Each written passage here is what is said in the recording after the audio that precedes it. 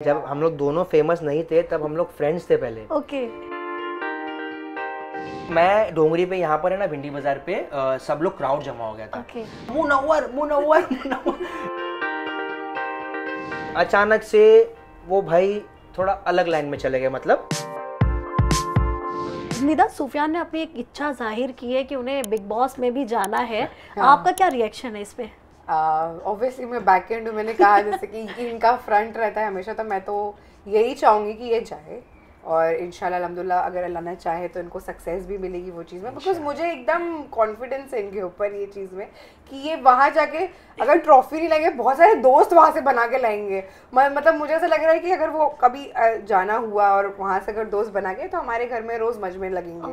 हमारे घर में भी बिग बॉस होता रहेगा फिर। तो I have that confidence and बाकी की बात अगर इनको ज़्यादा पुश करना रहा तो वो तो मैं यहाँ हूँ करने के लिए। Yes. तो वाओ। सो अभी हाल ही में आपके एक पड़ोसी कह सकते हैं हम मुनव्वर फारूकी। हाँ। उन्होंने ट्रॉफी तो डोंगरी लेकर आ गई हाँ। है। क्या कहना चाहेंगे कभी मुलाकात हुई है आपकी? हम लोग बहुत घूमे साथ में पहले। ओके। जब हम लोग दोनों फ़ेमस नहीं थे तब हम लोग फ्रेंड्स थे पहले। ओके। हम लोग कैफेज वगैरह में जाते थे साथ में हम लोग का ग्रुप था एक हम लोग बैठते थे।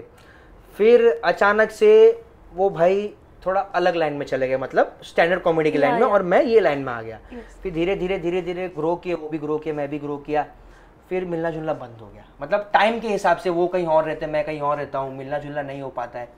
हम्म, तो बट जब वो जीते थे भाई तब मैं इतना खुश हुआ मैं बोला यार चलो ठीक है लॉकडाउन लॉकअप में भी जीते मैं बोला और मतलब इसमें भी जीता।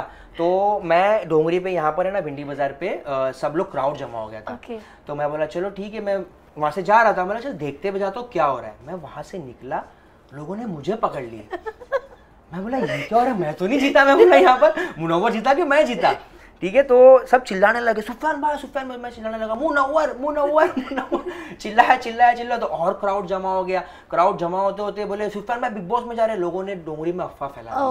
कि बोले सुफियान भाई बिग बॉस में जा रहे मिला भाई मैं नहीं जा रहा हूँ मैं खाली ऐसी आया था दवा लेने मेरे बेटे की तुमने रस्ते में पकड़ लिया। चिल्लाने लगा मैं भी चिल्लाने लग गया में। ठीक है? अच्छा लग रहा था मेरे को भी चलो भाई सब इतनी खुशी मना रहे किसी के जीतने पे। तो जब कभी मैं गया तो मेरे जितने भी खुशी मनाएँगे ऐसा सोच के मैं मैं भी चिल्ला दिया थोड़ा। सो मुनवर से कोई कॉल वॉल पे बात होती है आपकी?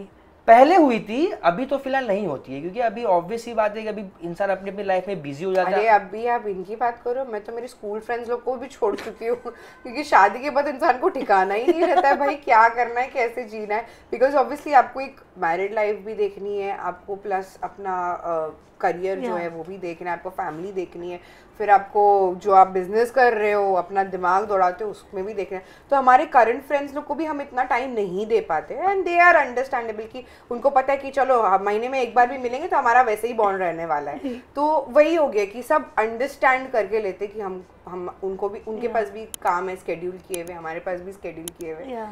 तो yes life is very busy